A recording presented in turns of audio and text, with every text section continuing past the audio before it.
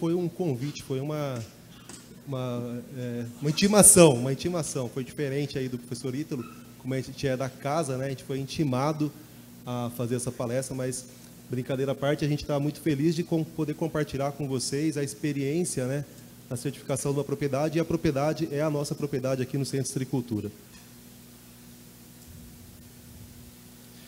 É, a gente tá, vocês estão acostumados a conhecer aqui a feira, né? Quem não é muito é, frequentador assíduo aqui da, do centro, né? Parceiro nosso, mas nós temos uma fazenda experimental. Essa fazenda ela tem uma área de manancial, uma área de reserva preservada, que a gente aumentou essa área.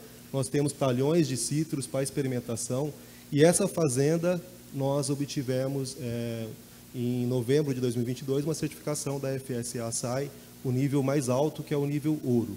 Então, essa intimação né, que, que eu brinquei aqui, é com uma grande satisfação que a gente compartilha né, essa experiência que a gente teve e de dizer para os senhores, é, para vocês, que nós temos né, uma certificação desse nível na nossa propriedade.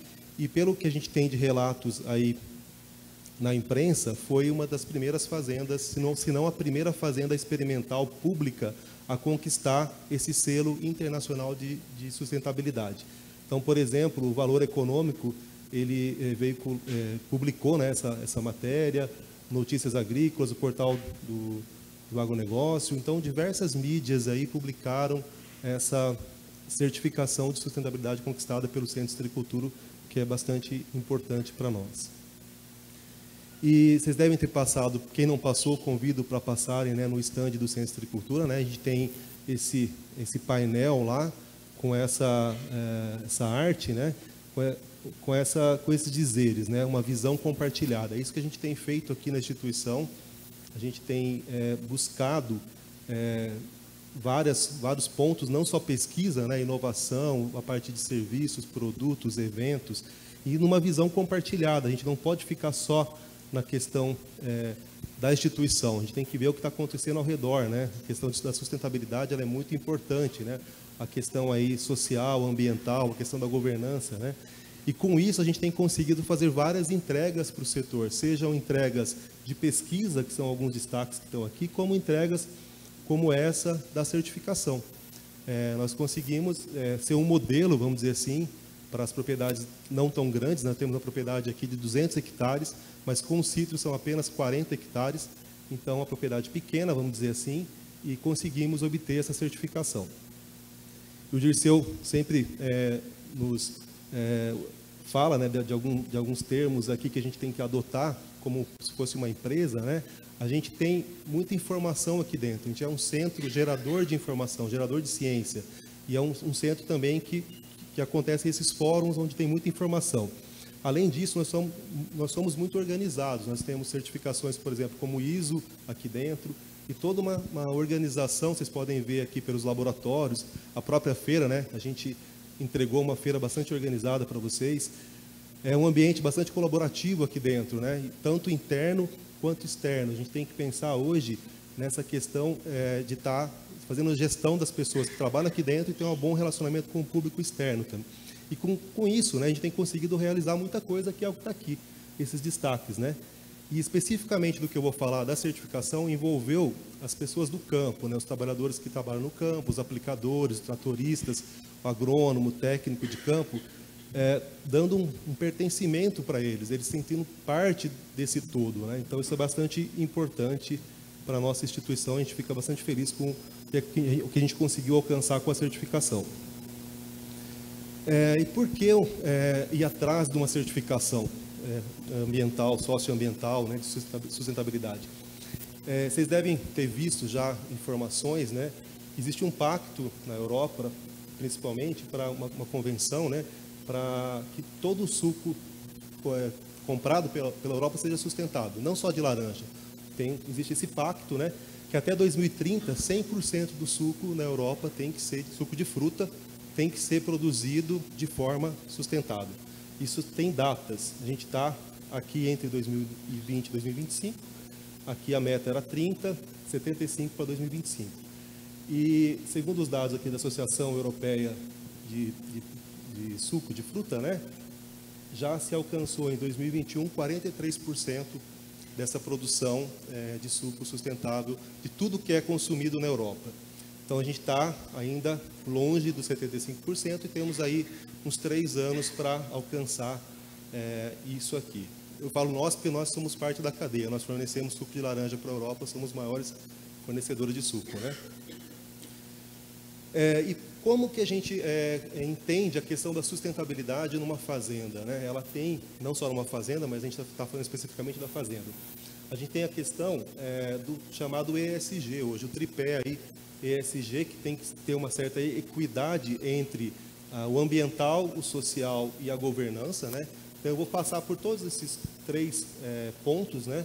A questão, a gente tem que estar sempre em ordem com a questão ambiental, a gente tem que estar a questão trabalhista, a questão de legislação de tecnologia de aplicação, é, EPI, a questão financeira, que é aqui a gestão financeira, ela é muito importante.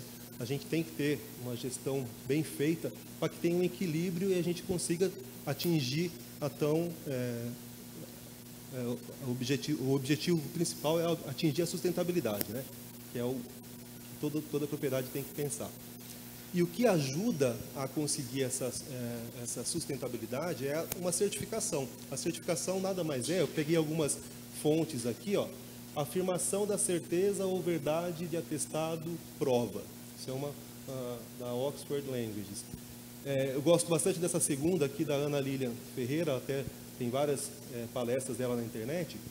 Processo no qual uma entidade independente, que seria uma certificadora, então, a gente tem um processo, né, tem uma certificadora que avalia determinado produto ou atividade para atender normas estabelecidas é, por um determinado padrão ou protocolo, né, atendendo-se esses requisitos, requisitos na empresa ou propriedade, como no nosso caso, né, atinge o selo que demonstra que a mesma é certificada e, no caso, sustentável, que é o selo que a gente está pleiteando.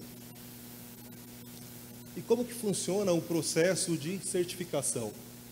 tem que ter um diagnóstico inicial. Isso é, eu posso falar para vocês, eu sou filho de produtor e acho que todos, todas as propriedades têm condições de alcançar uma, uma, uma certa sustentabilidade e uma certificação. Já, a gente já, já faz muita coisa que é sustentável, que atende o que se exige na certificação. Aí a gente tem que ver a norma da certificação que a gente está pleiteando, né? E implementar tudo que está na norma. Faz uma auditoria interna, depois a gente faz uma auditoria externa, revisa essa auditoria, né, faz as tratativas aí das não conformidades se ocorrerem, e com isso a gente consegue a emissão da certificação. E as vantagens de uma certificação por uma propriedade agrícola, quais seriam? Né? A gente tem redução dos passivos trabalhistas, que entra aqui na questão social, e também dos passivos ambientais, né, o ambiental, diversificação de mercado, reconhecimento da sociedade, isso é bastante importante hoje, né? A gente mostrar que a gente pertence a, a esse segmento da sustentabilidade, que a gente está seguindo o que é, é, importante para as futuras gerações, né? O maior controle das, das, atividades executadas, né? Que é a governança, eficiência no uso de recursos, seja na eficiência de uso de água, de defensivos, de fertilizantes, e com isso um aumento de produtividade e lucratividade. Então a gente tem vários pontos aqui muito importantes que é, nos ajudam a entender por que buscar uma certificação.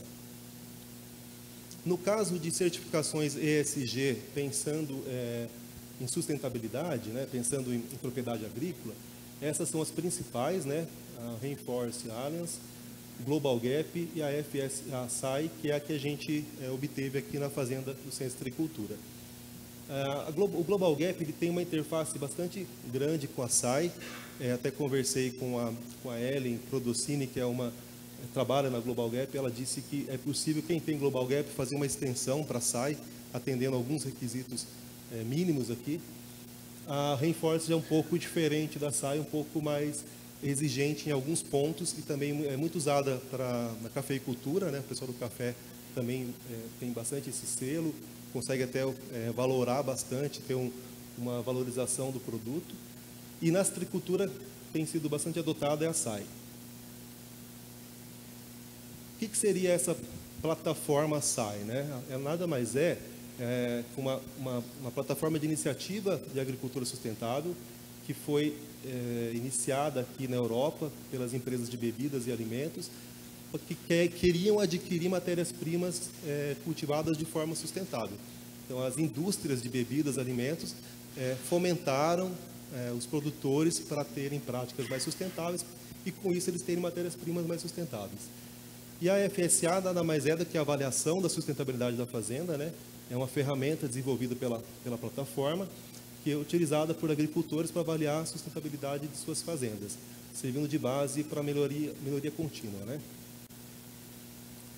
A SAI, é, esses slides eu peguei da, uma palestra da, da Imaflora, do colega Alessandro, que esteve com a gente o ano passado, estava, estava disponível na, na, no site da, do Centro de Agricultura.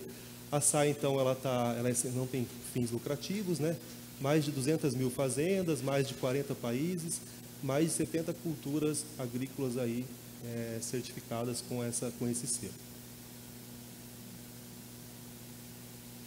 E ah, para conseguir a certificação FSA-SAI, a gente tem que ah, é, ah, usar um questionário, né? A gente usa o 2.1, hoje já está no 3.0, que tem todos esses requisitos aqui: conformidade legal, estabilidade financeira, gestão da fazenda, plantio, manejo do solo, manejo do nutriente, proteção de cultivo, agroquímicos, manejo de resíduos, gestão de água, biodiversidade, ar, até a partir de emissão de gases de efeito estufa, acesso ao mercado, condições de trabalho, saúde e segurança, comunidade local e é, que cobrem a questão aqui do ESG, né, da questão ambiental, social e também da governança. É, e tem níveis, né? A gente tem o, o nível bronze, prata e ouro, nós alcançamos o nível ouro. Para ter o nível ouro tem que é, atingir né, 100% das questões essenciais, 100% das questões básicas e 75% das questões avançadas. E os demais é, não tão restritivos quanto a, o selo ouro. É, vou contar um pouco da nossa trajetória. Então, como que foi né, o nosso para chegar até o selo. Né? A gente a gente firmou uma parceria com a Fundação Solidariedade. Antes disso, a gente já adotava técnicas sustentáveis, coisa que eu falei anteriormente, o produtor brasileiro já adota muita tecnologia, boas práticas no campo. Então, a gente já tinha em mente é, a possibilidade de um selo desse, porque a gente já tinha a adoção de várias é, técnicas sustentáveis. E a parceria com a Fundação Solidariedade, ela nos, nos auxiliou muito, né? Aqui em março de 2022, eles fizeram um plano de ação para a gente.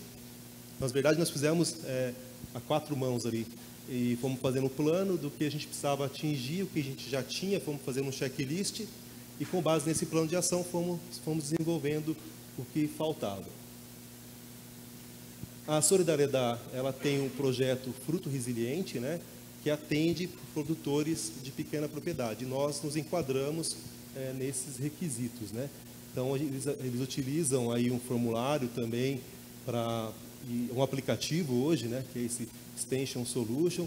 Eles dão essa assistência para o pequeno produtor de forma gratuita e aí eles conseguem, é, no campo, eles têm vários técnicos, né? E já, já atendem mais de 300 produtores hoje, a meta é, são 500 produtores, até 100 hectares o produtor tem que ter para poder é, ser atendido pelo, pelo projeto, né? Diversos materiais foram é, é, construídos aí, desde cartilhas, é, podcasts, é, vídeos. Nós participamos de vários deles, a gente tem uma parceria grande com eles. Aqui um dia de campo que nós fizemos em parceria com a Solidariedade, visita o nosso laboratório aqui no Centro de Agricultura e totalmente gratuito e até estendo para vocês o convite de conhecer, né, conhecê-los, eles estão no stand aqui na, na, no pavilhão e bater um papo, quem se enquadrar no perfil ou não, bater um papo sobre a questão da sustentabilidade e da certificação. É, com aquele plano de ação, com o apoio da solidariedade, nós fomos mapeando a nossa propriedade, que é essa, né, que está circundada aqui, os nossos talhões, é, e fomos regulamentando tudo que a gente precisava. Um dos pontos que é essencial é a regularização do cadastro ambiental rural e a gente já tinha o cadastro em 2015, mas precisava ser retificado. E a gente conseguiu fazer a retificação desse cadastro Aí que vem a questão compartilhada, né? E, e a, a, questão de, de, busca de parceiros.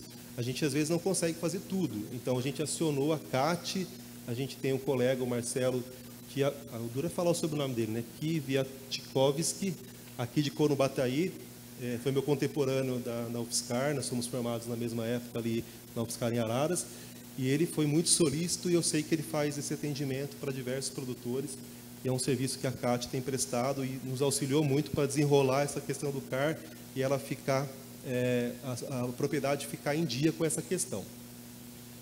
É, na internet tem é, diversas é, ferramentas que você pode monitorar a propriedade, é por satélite, né? Isso é feito para desmatamento e também feito para a questão das propriedades. Então a gente tem, por exemplo, um mapa aqui de 2015, né? E também um mapa de 2022 da fazenda e como a gente estava a questão de da, das nossas reservas, né? Da nossa vegetação. Importante que nesse período não houve desmatamento, a gente manteve, na verdade, antes de 2015 a gente tinha até um pouco menos e foi reflorestado alguns pontos. Então a gente atendeu plenamente e conseguimos o cadastro aí, o CAR, né? Isso é importante.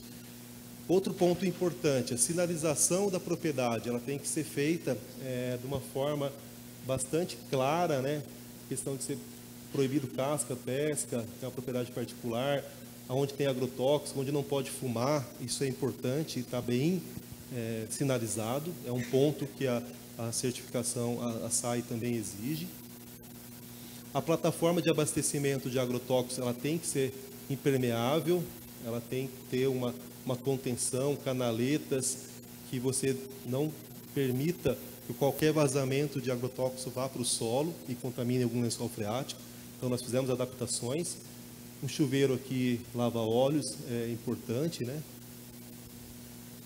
A plataforma de abastecimento de óleo diesel também ela passou por uma reforma, também nos mesmos moldes aí da plataforma de abastecimento de agrotóxicos, seguindo algumas normativas da BNT toda a sinalização também de placas aqui. Esse é um ponto bastante importante e até nos custou uma, uma não, conformidade ou uma oportunidade de melhoria, né? É, o treinamento de tecnologia de aplicação e uso correto de EPIs. Tem que ser feito todo ano, a gente tem uma parceria com a Aplique Bem, que é do colega Milton é, de, de Jundiaí, do IAC. Nós fizemos dois treinamentos com eles e acabou que quando a gente foi comprovar, ele não atingia o número de horas e também não atingia a NR 37.1, que fala das normas aí de uso de EPI e tecnologia de aplicação. Aí nós fizemos um contato com o Senar, que oferece esse curso gratuitamente para produtor.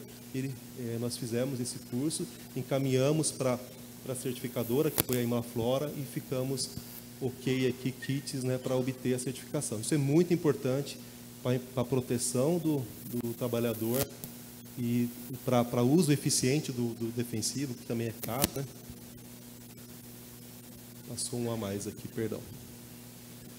É importante ter um local para lavar esses EPIs da forma correta, ter um tanque também, é, uma piscina química também, de acordo com as normativas. É, o local de armazenamento do agrotóxico também é importantíssimo, está identificado, está trancado, ter as pessoas, poucas pessoas de acesso restrito, né? As pessoas que são podem é, adentrar, sempre entrar no barracão com EPI, isso é importante, isso às vezes o produtor esquece, usar máscara, né? É, a, prateleiras, pallets, não ter produtos vencidos, produtos somente os que estão na lista da Protecitros, né? Isso é importantíssimo. Treinamentos, né? Primeiros socorros é um treinamento também é exigido pela certificação. A gente fez esse treinamento. Tivemos algumas cobaias, eu fui um deles aqui. Um bombeiro, nós entramos em contato com um bombeiro de uma corporação aqui de Araras, que fez esse treinamento com toda a nossa equipe, né? A Nádia aqui, a Valéria, o Vandeclay, o Franciel, o Gomes, né? Toda a nossa equipe e aqui todo mundo é, que participou. Isso vai ser feito novamente.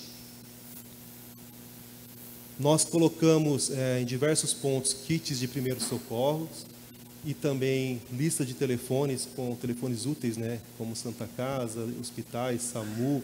Um ponto importante, é, acidentes com, com, animais peçonhentos, com cobras, né? A gente descobriu que nem Cordeirópolis nem Araras tem soro é, antiofídeos. Aí a gente viu que Limeira tem, então a gente já colocou o telefone da onde tem. Então, num acidente, já vai direto para Limeira. Senão você acaba perdendo tempo de ir para Cordeirópolis ou para Araras, tem o tempo que pode custar a vida de alguém. Então, é importante estar bem atento com essas coisas. A questão da saúde do trabalhador também, a gente tem o um programa de gerenciamento de, de risco, né? E também o programa de controle de médico de saúde ocupacional. É, isso foi feito por uma engenheira do trabalho gerando aí atestado de saúde ocupacional para cada funcionário ligado ao, ao, campo. Aqui é o do, do Van de Clay. A gente tem é, toda a questão da gestão é, financeira, um planejamento. A gente tinha planilhas aí é, é distribuídas, cada um fazia a evolução de venda de sementes, de produção de citros, de sementes. A gente conta com uma assessoria hoje do Paulo Dantes, que vai dar palestra na sexta-feira na sessão no período da tarde. E com isso a gente conseguiu agrupar em planilhas mais modernas, é, com centros de custo, é, com previsões aí de como está o nosso orçamento. Então isso é importante também para a certificação da questão da governança e a gestão financeira. O registro de tudo que é feito é muito importante, seja um caderno de campo, aqui o nosso caderno de campo ele é uma planilha do Excel, mas pode ser um caderno físico mesmo. Ah, o que a gente tem de citros no campo, os nossos talhões, monitoramento da fertilidade do solo, todo tipo de registro ele é solicitado durante a certificação. Isso é importante que seja feito e com bastante é, qualidade. A gente tem, é, adota boas práticas agrícolas, a gente está no centro de pesquisa que é, é fomentador dessas práticas, como a roçadeira ecológica, planta de cobertura, o Boletim 100, que é editado pelo IAC, o Dirceu, o Guareto são editores é, do boletim, então foi fácil mostrar isso para a Imafora, né, que é a certificadora, que a gente adotava boas práticas. É, e a gente, apesar de estar no olho do furacão, como a gente fala, da questão do green, a gente produz citros aqui dentro. Vocês podem ver no nosso stand, são fotos que eu tirei ontem do, do Instagram, a beleza dos nossos frutos produzidos aqui dentro. Mesmo com a pressão enorme do green, a gente tem a produção é, de citros e mantém a nossa coleção e também os nossos experimentos. É, nós temos é, uma convivência aqui é, saudável com a nossa fauna, isso é importante também relatar, fazer relatórios, listas né, de avistamento de fauna, gaviões, o quero-quero, o veado campeiro, o canarinho da terra, o, o teiu, né, uma, a coruja que é famosa aqui na, na feira. É, a gente tem também tatu, aqui o vídeo do, do Van de Clay, tatus e até cobra. Às vezes aparece, a gente chama Dessa vez foi chamado um pessoal da, da, dos bombeiros para capturá-lo. Mas é bom ter esse convívio e ter é, a educação é, ambiental dos funcionários, que não é para matar, assustar, é para conviver com os animais da, da, melhor forma possível. Né? Isso a gente tem conseguido fazer de uma forma bem interessante. A gente tem é, liberação de tamarix radiata, que é um parasitoide aí um, para psilídeo, né, em parceria com Fundecitrus. Isso é uma ação externa que a gente faz aqui, o Monday Clay coordena isso aqui para gente. Iniciativas de coleta seletiva de, de lixo, seja no escritório, seja na nossa colônia. Uma iniciativa também, é, essas, eu iniciativa, que vocês lembram que é, é uma iniciativa de agricultura sustentável, a gente estava falando da plataforma lá atrás, então são coisas que você tem que, numa certificação, você tem que demonstrar que você está começando, às vezes você não está com ela ainda finalizada. Então a gente está aqui com nossas pilhas, iniciando essa compostagem, um pouco grosseiro ainda, algumas coisas que tem que ser picotado melhor, mas já está saindo alguns compostos daqui. A gente tem é, a questão de logística reversa, isso é muito importante, entrega de, de pilhas, baterias com a Prefeitura de Cordeirópolis, é, embalagem de agrotóxico com a Cooper Citrus, a gente tem também ah, lubrificantes, óleos eh, queimados, tem que ser devolvidos da forma certa, e isso é feito em parceria com as próprias empresas que a gente compra. questão de outorga de uso da água, a gente tem hidrômetros instalados, a gente não tem irrigação na fazenda, mas a gente tem hidrômetros na fazenda que são monitorados diariamente e tem um limite de 300 metros cúbicos por dia para serem utilizados. A análise da água, né? a água potável, ela tem que ser feita essa análise. A gente tem uma parceria com a Solidariedade também, mostrando que a nossa água ela é potável, os níveis de nitrato, nitrito, amônia, fosfato, coliformes fecais ausentes, tudo dentro do exigido pela legislação. E algumas iniciativas até é, que não são essenciais nem básicas, como por exemplo de gases de efeito estufa, a gente fez um exercício. Aqui o Brasil ele é um dos maiores emissores, né, mas bem abaixo das grandes potências aqui. E a gente tem é, mapeado em algumas plataformas da internet, isso é possível ser feito, para mostrar também que a gente pode diminuir. E a gente tem alguns trabalhos, como por exemplo, para mitigação é, da, da, emissão de gases de efeito estufa, alguns trabalhos com palhada, com o uso de, de leguminosas, apoiado aqui pelo programa Boa Colheita da Iara e também pela Fundação Agrisus, com câmaras para avaliação da emissão de gases de efeito estufa. Então, são iniciativas que a gente está, são projetos ainda iniciais.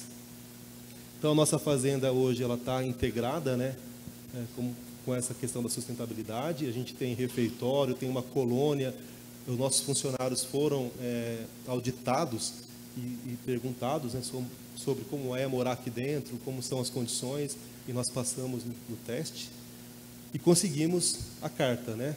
Isso, a auditoria foi é, entre o dia 29 e dia 30 de setembro. O colega Alessandro e a Andrea da Imaflora nos, nos auditaram aqui parte da nossa equipe e nós muito felizes é, podemos dizer para todos que nós temos uma certificação nível ouro da SAI.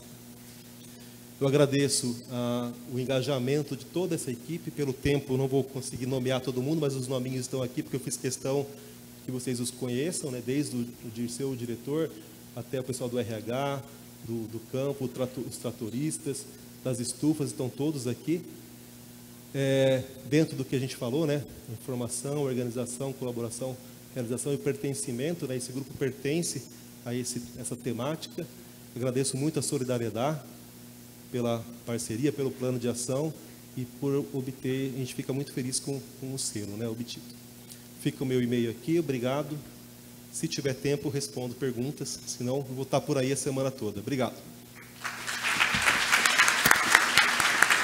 Pessoal, pessoal, vamos lá. Acho que tem tempo para uma pergunta, vai. Quem quiser, por favor. Depois, é, mais perguntas se houver interesse, pode conversar com o pesquisador e Vamos lá, quem quiser, levanta a mão, por favor.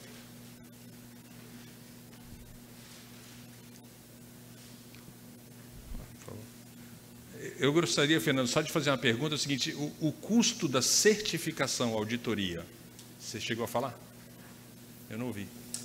Não, essa, até conversei com o Dirceu. Ah, depois tem dele. Não, a gente não, a gente tem isso é, mapeado, e, e, na verdade foi um processo longo. Eu falei aqui de um ano, mas na verdade é um processo que já vem de uns 3, 4 anos. A gente não tem exatamente esse, esse custo.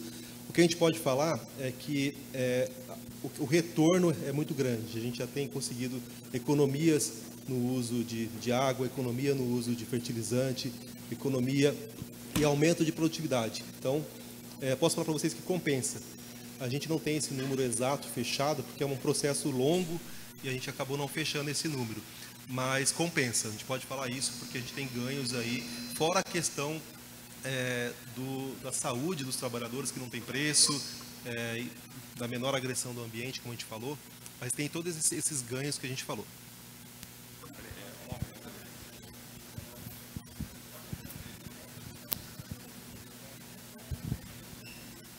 Boa tarde, tudo bem? Meu nome é Rogério, sou de Santana do Livramento, Rio Grande do Sul. É, eu não vi a parte solar, eu queria saber se a parte de CO2, para quem tem a, a, a parte so, é, solar, se ela potencializa nessa compensação. Sim, a questão da. Até a gente conversa disso, a gente tem bastante telhado, bastante área livre, é uma forma que é uma energia limpa. Ela, você tem um gasto é, de uma emissão de CO2, a pegada de carbono é menor, né? Com certeza entra sim. Pessoal, obrigado então. Tem mais um daqui. Bom, infelizmente a gente está com, com o tempo em cima da hora. Eu vou só avisar para vocês, agora é o tempo do, do espaço é, do expositor da empresa FMC. Por favor, 15 minutos. Pessoal, é,